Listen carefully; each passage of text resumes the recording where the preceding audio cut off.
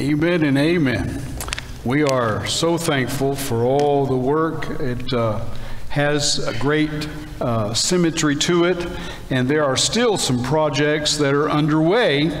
And uh, one of them they completed yesterday literally. And that was the raising of the sidewalks where they had collapsed out here in front of the foyer and down around the corner. That was all raised up yesterday. And uh, just kind of amazing the technology that's out there. And they're able to shoot uh, that stuff and just bring it up and it stays right there. Hey, Hope you'll stay for lunch today. We've already got some of the tables, and after we all move out, we're going to move out into the foyer or this hallway. Uh, we've got the deacons that are going to be tearing down these chairs, and there will be tables and chairs all in this center part as well. So we uh, hope you'll stay. Listen, you say, Well, I didn't make anything. Well, we have Dickey's Barbecue for you. So there is uh, brisket. There's a little more brisket than there is of uh, chicken and also uh, pulled pork.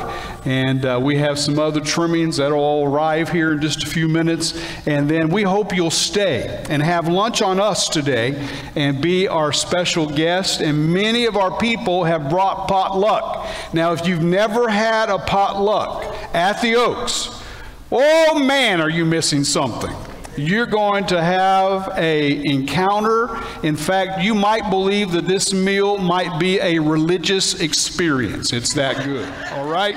So stick around, stay with us. I want to take you to the scriptures, and I'm going to have to be really brief about it because we've got everything on schedule today and serving the meal. But Howard C. Rucker, Dr. Howard C. Rucker was a teacher of. Uh, theology at Yale Divinity School when that really used to mean something. He also happened to be a cartoonist. And he often would draw pictures, cartoon pictures, and they would print these in some of their publications.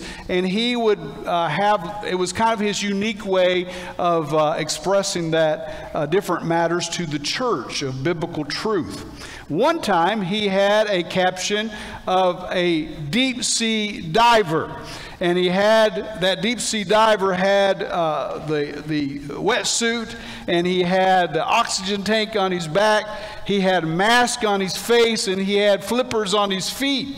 When the very next caption, it shows this deep sea diver all dressed in his uh, suit with his mask on his face, oxygen tank on his back, flippers on his feet. And in the very next caption, it shows him starting to walk down the hallway with his suit on, his mask on his face, his oxygen tank on his back, and flippers on his feet. And in the very next caption, it shows him going into the bathroom, getting into a bathtub, and playing with rubber ducks. And the caption was, This is the church that is not really on task. God has given us the Holy Spirit. He's equipped us with everything we ever need, and yet we're playing in the bathtub with toy boats. What he said is we need to go deeper and we need to go out further. And that's the truth in the, in the church, isn't it? I want to show you something from the scriptures today. If you would join me there. And I'm going to talk about overcoming a grasshopper mentality. I believe everybody can have one at times, and I want to take you to the book of Numbers, chapter 12, and also chapter 13. If you'll go there with me, I'll show you something from the 12, 12, spies that went over into the promised land, and I want you to see their reaction. Their reaction is incredible. They see what God has given to them in the promised land. So if you've got an outline, you can fill these in. If you uh, didn't get one, they're out in the foyer. You can grab one. They're also out here in the hallway. But I want to share with you about this problem of a grasshopper mentality in church. God equipped us to be powerful saints of His. In this Old Testament passage, I want you to notice, and I'm going to start in, in chapter 13, and I want you to look with me at the scriptures starting in verse 27. It says, They gave Moses this account. So this is the report as they've come back. We went into the land which you sent us, and it does flow with milk and honey. Here's its fruit. But the people who live there are powerful, and the cities are fortified and very large. We even saw the descendants of Anak there, the uh, Amalekites uh, in the Negev, the Hittites, the Jebusites, the Amorites uh, in the hill country, and the Canaanites live uh, near the sea along the Jordan. Then Caleb, silenced the people before Moses and said, We should go up and take possession of the land, for we can certainly do it. But the men who had gone with him said, We can't attack these people. They're stronger than we are. So they spread this word among the Israelites, a bad report about the land they'd explored. They said, The land we explored devours those living in it. All the people we saw there are great of great size. We saw the Nephilim there, the descendants of Anak, come from, ne- from the Nephilim. We seemed like grasshoppers in our own eyes, and we looked the same to them. We look like grasshoppers to them. Doesn't matter that God's already promised that this land is yours. God's promised that you can possess this land. This is the holy land that God has given. You simply need to obey me, and God will provide victory after victory after victory. But here they are looking at uh, what they shouldn't look at. Look at this, and I want you to write down some things here as we look at this this morning. Look at the source Look at the source of where a grasshopper mentality comes from. What's the source? Well, instead of looking to the Lord and keeping our eyes fixed on Jesus, which we're all commanded to do, that that's what helps us in our faith journey, here's what we're told. It, we're told that they started looking at the people groups that were there and how it was overwhelming. You know, if you look at DFW and you look at the seven 1.9 million people that are in our area. And if you just go with the South 20, uh, I 20 corridor and those cities that are really more of our major field, there's still some 2.2, 2.4 million people that are easily within a 10 mile driving radius of our church. And that's really probably our inner church field. And that's where most of our folks come from, as you know, from Duncanville and from Grand Prairie and from Mansfield and from Arlington. And uh, we probably extend out. We've got some from DeSoto and a few other places, but uh, there's usually not too many beyond that. We've got some that come all the way from Fort Worth. Did you know the Oaks is such a, a wonderful church that people would drive here from Fort Worth? Isn't that something? That is, isn't it? And other places as well. But look at the passage. If you go back to verse 33 and you look at the end of that verse, here's what's said. It says, We seemed like grasshoppers. Now, you know right now the grasshoppers, as uh, summer is ending, uh, are we praying that summer will end? I, I, am. I'm tired of 105, 106, 107, 108, and I think we got 109 coming today, is what they say. Right? I think there's a vent from hell that's opened up around here someplace. they lacked sufficient faith. They really did. Look at this. It says, We seem like grasshoppers in our own eyes, and we look the same to them. They're projecting on the groups that that's exactly that we're, we're inadequate for the task that we're called to. Do you know that's a lie out of the pit of hell right there? You are equipped by Almighty God. The Holy Spirit lives in you. We are equipped as a church to do whatever God asks us to do.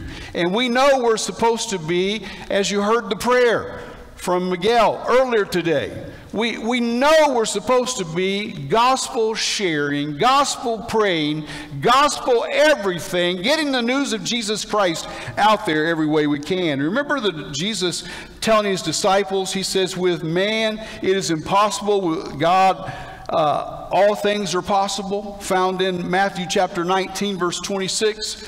And that was just about an eye of a needle, of going through that, and how a camel might have to get down on it's all fours and, and just there'd be a crawling or pulling them or pushing them through. Paul said, if God be for us, who can be against us? Romans chapter 8, verse 31. The Lord told the Israelites back in the book of Exodus, chapter 14, verse 14, the Lord will fight for you. You need only to be still. Isn't that an incredible word? Some of you need to hear that today because that's the truth. They lamented over a superficial foe. They really did. They were all upset. They said, The land, look, here's the fruit. Look how large.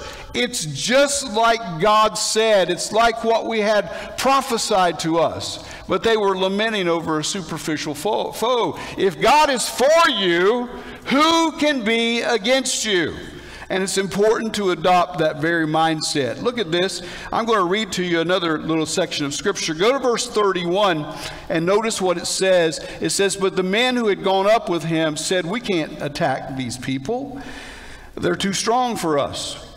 They're spreading among the Israelites a bad report about the land that they explored. They said, This land devours those living in it, and the people we saw were of great size the task here in DFW and our more centralized uh, South City corridor of I 20 here, that's kind of our primary field. Listen, the task is gigantic, but we have some sister churches to join us, don't we? We're not by ourselves. And listen, the Holy Spirit indwells us. He will guide us and He'll show us exactly what He wants done. You know, when I was in college, um, we were, uh, I was, uh, I had gone to Liberty University on a football scholarship, but it, I'm not the guy that you see now. I weigh 205 pounds now. I'm 63 years old. I'm an old dude and uh, got, got more than I should be carrying. But anyway, that's and, and that's after a lot of weight loss. Well, in college, I was a defensive back. I ran back punts and kickoffs, and we used to have. I was a free safety on the on the defense. Well, we had these drills with the other members. Uh, of the, the team, and one of them was called uh, gut check and they would scream gut check and we knew we all had to leave our groups and come together and we would all be together and they would lay down a couple of those great big dummies those great big uh, pads and they would line up a little section that was usually about five yards wide and it was usually about 20 yards long and they would put us up against the different groups. Sometimes it was the defensive ends, sometimes it was the linebackers, and the one that we hated the most is when the defensive backs got assigned to go up against the, the tackles, the defensive tackles. And what would happen is we had this one guy, and occasionally we even did for him, but he was kind of like the fridge. If you remember Chicago, the Chicago Bears, this, this young man, yeah, now people are cheering. Uh, we, you're in Dallas, by the way. Uh, just to remind you, Cowboys are coming. This is our year. I just had to throw that in. Um, I'll just simply say this. We had our own guy. His name was Victor King. He was six foot three, 335 pounds. Besides being a very large man, he was he's from Atlanta, Georgia. He was also very quick. Now he wasn't fast, but boy, he could move quick. And man, he just he would tackle people, tackle the quarterback, tackle running backs. Well, on this drill, you had to lay down helmet to helmet on your back. And then the coach would throw the football to one of you.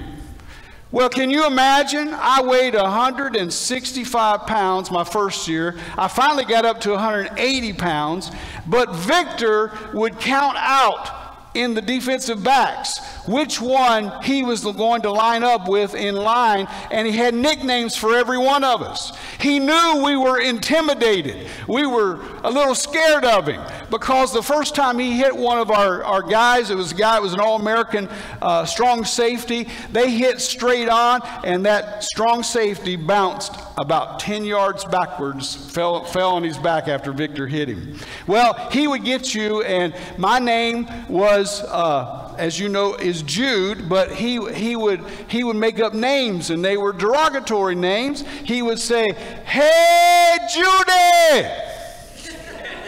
I was Judy. In fact, every one of us had feminine names, you know. Uh, see, people were even confused back then, all those years ago. And he said, Hey, Judy, I'm going to bust you up.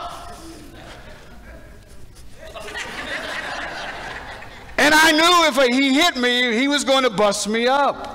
And so we finally started learning some moves that we could do with Victor. And one time, we just to play a joke, and the coaches thought it was funny, so we didn't have to run laps or anything. We decided that the entire group of defensive backs, when Victor jumped up, we were all, every one of us, were going to rush him and tackle him. And uh, I was in on that, and we, we did get him down. You couldn't bring the man down unless you just took his legs out. And a lot of times he just jump over top of you. But you know, there's things in life that we get intimidated by, don't we? You just feel like I, I can't deal with this. I really can't.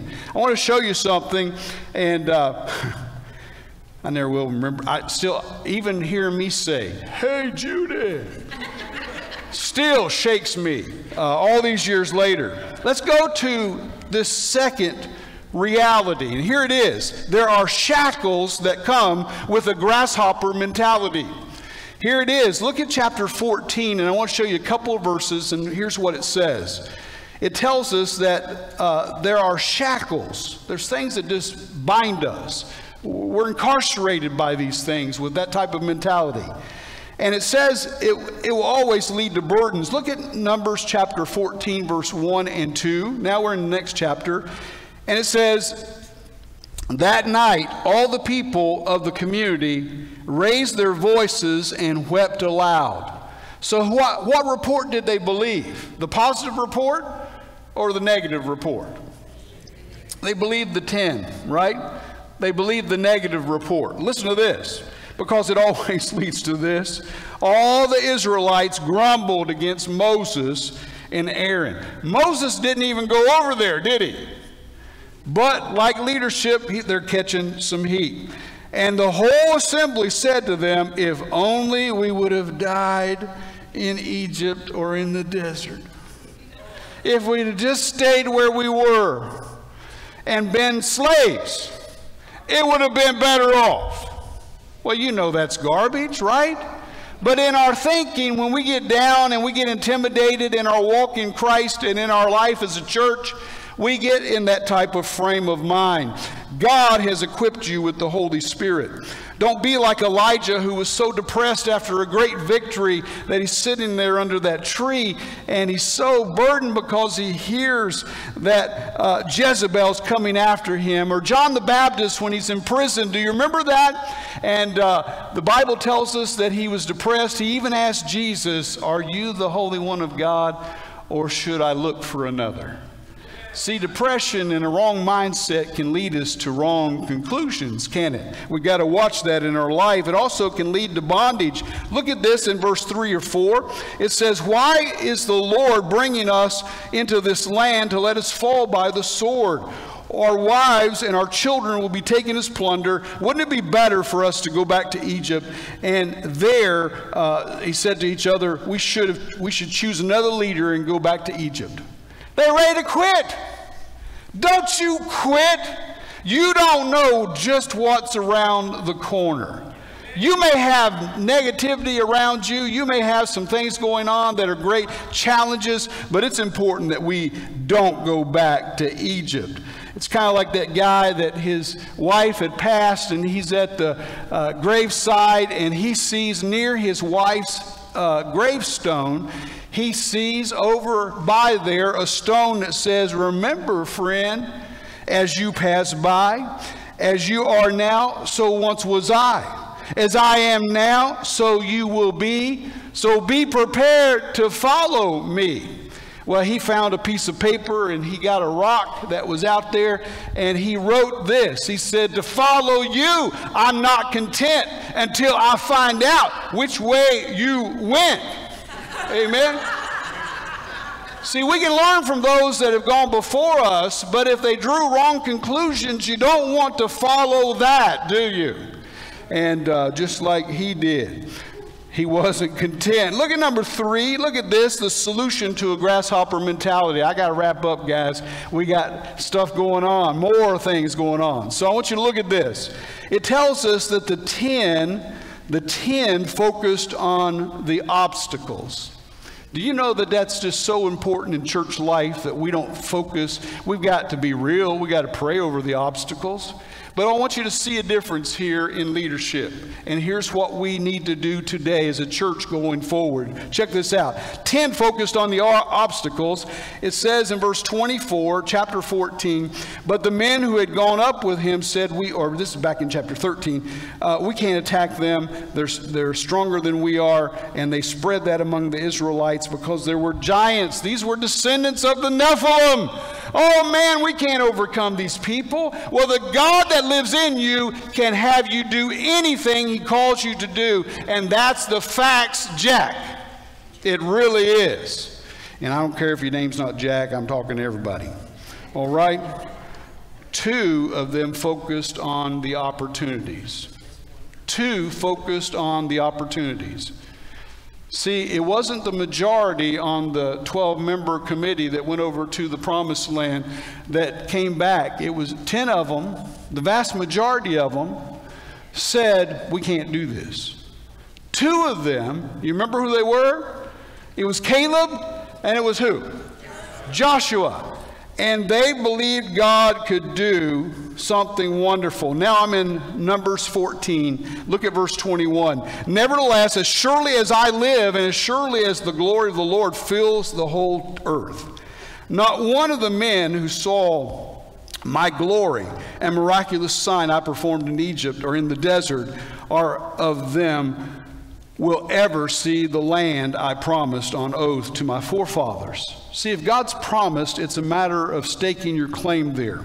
And we as a church, even in this Old Testament passage, can take that away. No one has treated me with contempt will ever see it, the Lord says. But because my servant Caleb has a different spirit and follows me wholeheartedly, I will bring him into the land he uh, went to and his descendants will inherit it. 10 focused on obstacles, 2 focused on opportunities, 10 focused on the problems, 2 focused on possibilities. The 10 focused on their foes, but 2 focused on their faith in the Lord to do anything. 10 focused on their ability, but the 2 focused on the ability of God Almighty and that is our task here today as, uh, as well. On July 4th, 1952, a lady attempted something amazing. She had already swimmed, swam the English Channel across and back as the first female. But in 52, she, her name, Florence Chadwick, waded into the waters off Catalina Island, just off about 26, 7 miles off the coast of Los Angeles in California. She intended to swim that entire channel to the California coast, but the long distance swimmer was not able to do so. The reasons were simple. She swam for 14 hours and then gave up. There were sharks that were around that they were shooting at. She never, because of the fog bank that had covered Catalina all the way to the coast, she never, ever could visually see with her eyes the California coastline. And that, she said, was the reason she finally just got out. Do you know when she got out? She was a half a mile she had already gone the distance of a marathon. A half a mile from the California coast, she said, I just couldn't see it. Big message here for us. Two months later, she gets into those waters. This day, there's no fog. And she makes it all the way to the California coast. And they said, What was the difference? She said, My vision of what I was after was right in front of me. I could see it with my eyes. There it is. Do you know that's the call of the Church of Jesus Christ as well? That we need to follow the leadership of Jesus Christ. We need to be guided by the Holy Spirit, and we need to be on mission for Him. We have dared say that we're about loving God, loving people, and living our mission. We need to be on mission. I am so thankful to celebrate today some accomplishments that God has done. Renovation team have been vehicles of being used of the Lord in that regard, but this is a work of God. Many of these things needed to be done a long time ago. Amen? So I want you to think about something. This morning we're so blessed. We really are to have God just bless us. You know, one of the Bible verses that Miss Chadwick held on to was, I press toward the mark for the prize of the high calling of Jesus Christ. I want you to think about something. We have giants, don't we? Our giants are many. We've got a huge mission field, but we've got other partners besides our church, right? And you look at, we need financial provision to see God do all that He does. We need to have growth in evangelism and prayer, full acceptance of our assignment as His witnesses. And we need, listen, what God put on my heart for the Oaks the year before I came here, when I was in process and, and being uh, a candidate or candidating with the, the pastor search team, it's not changed. We need to be a revitalized church to go along with the renovations. Revitalize means that we all have revival. We have renewal. I harped about this and harped about it until you were like, man, can you preach on something else? I did that a lot. We really focused on prayer when we reopened the, the prayer room. Listen, I want to tell you something. God's blessed us. So we have sold, we have sold 14.77 acres. That accomplished several things for us in our strategy of the future, in our vision. What did it do for us? One, it got us out of about $1.1 million of debt that was to the tune of about $170,000 in our budget every year that we're having to pay uh, on our interest and on our principal. And we were able to see that gone. That helped us immensely, and that helped us right after COVID had hit. Amen? Because we. Uh, we got into the contract at the end of 2020 in December of 2020, and with all the things going on, we didn't close until April 30th of 2021. So we were in that, that deal for a long time to get where we needed to. And you know all the hurdles and all the things we had to jump.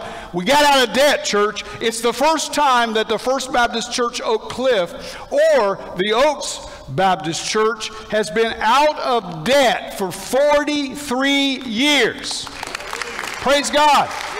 It changed everything, literally. Finances have gone down in churches all across our valley here in DFW, but it's that way across the country.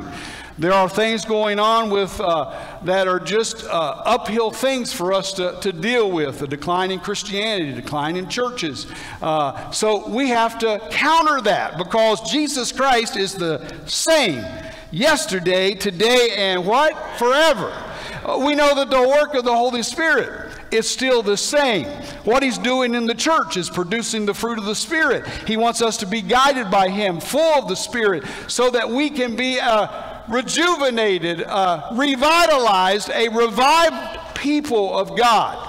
And God is calling us to do just that. And it's about us as leaders and all the church saying, Lord, we want to have a fresh, new anointing and work on our own lives here. It comes through prayer, it comes through confession of sin, it comes by really aligning our hearts where they need to be. And I want to share with you, I believe, and I just want to share this as just some vision from your pastor today. I think you should get this.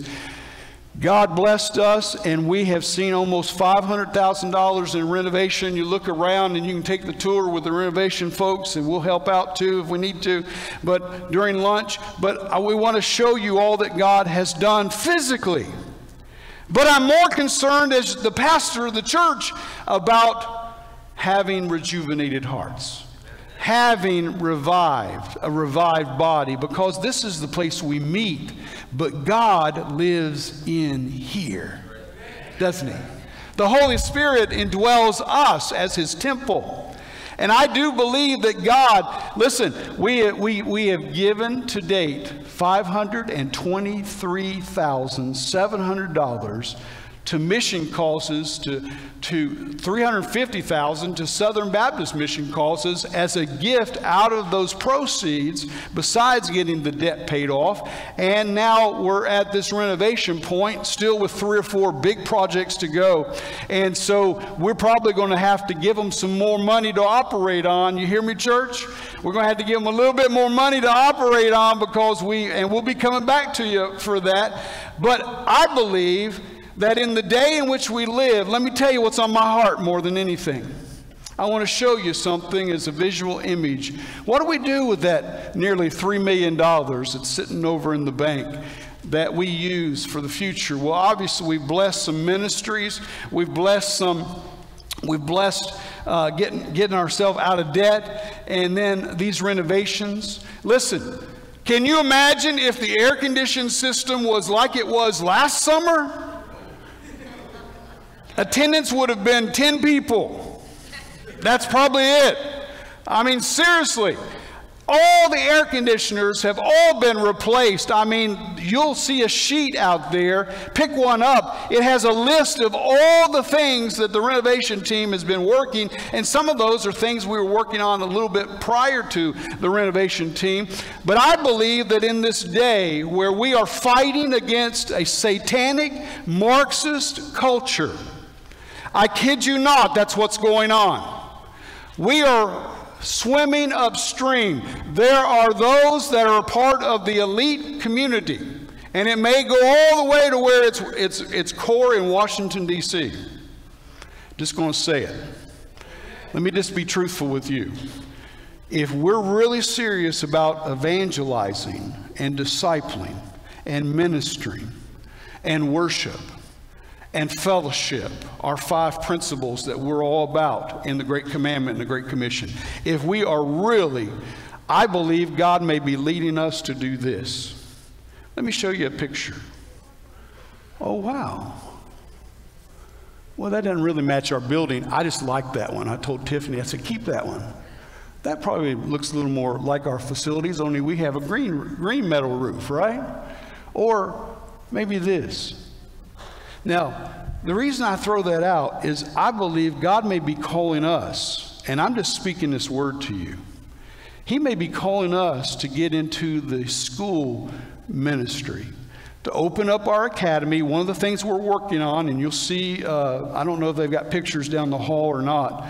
Jerry, I don't know if you all got those done, but we're going to redo the entire playground so that we can reopen the preschool academy. Now, we haven't been able to have, because we don't have an industrial kitchen and other issues that we have to qualify, we don't have a preschool where we can meet every day and it has to be a certain amount of hours. And we partnered with some other churches and we did two days a week. And Matthew Road did two days a week, and the Woods did two days a week. And there was just a, a combination of efforts to do that. But as we open up the academy again, wouldn't it be great if we could have a, a weekday preschool every day that's here every day, that we have an industrial kitchen. See, if we took that other, and we'd have to build probably a metal building, maybe with a face like some of these that you saw up here. And this, I'm not an architect. I just, I just picked these out the other day and said, throw those up there and put Oaks Academy on it.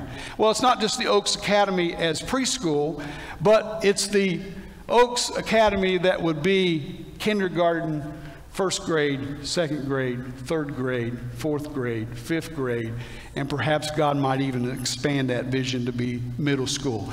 Listen, our kids are dealing with every kind of polluted idea. It's not just it's not just our liberal arts colleges where the battleground is now. It's now they've gone after our kids in high school and all the way down to little kids in, in, in, uh, in where they're being presented ungodly being robbed of their innocence. And I'm telling you, the church that's serious, and I believe all along, and I've already, there's been several things we've done to try to build the Oaks into a younger church. So I'm not talking about me. I'm 63. I'll have my time here and then I will not. I will be over. But what will the church be like in the future? I believe we've got to do things that will keep making the church younger and younger. We've already approached that from a staff angle, but we need to approach that now from what would help the church to become younger and younger. Well, you've made it 133 years. We have made it, Ronnie, 133 years. That's a long haul for a church, isn't it? But I believe God's got more for us, and in the days ahead, our evangelism and disciple and ministry strategy may very well in include that we have a school. Why? Well, God gave us this money to get out of debt, right? Renovations, and to bless the kingdom in doing some mission. We just call it the Oaks. Uh, we call it the Oaks Kingdom Gifts. That 500, we're going to give. Uh, we still have about 51,000 to give away. That hopefully this year we'll, we'll finish that. But I wanted to share with you and go back. I think that's the ugliest building, okay? Yeah. Now, Pastor, I like that one, all right? But to have a two story, have a, have a gym with a two story wraparound for education with an industrial kitchen in it, we could do numerous things. We already have a building that could be used for a school Many times, this type of construction lends itself to a school. Why in the world do we need to do this? Because they're stealing our children. I kid you not. And if you think the church is having difficult days now, you just wait another 10 or 20 years. I believe that God may be putting, it's in my heart, and there's lots and lots of prayer and lots and lots of work to do if God leads us. But is that three million remaining for a school? Kind of a metal structure that has maybe a nice face on it, blends in with our buildings. I believe, and I wanted to use this day to talk about our renovations and the future. I believe God may be calling us to do just that together.